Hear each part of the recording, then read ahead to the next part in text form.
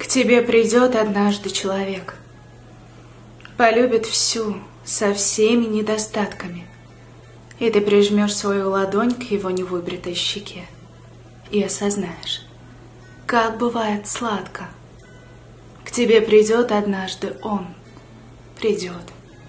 Своим дыханием растопит серый лед, в глаза посмотрит, будто прямо в душу.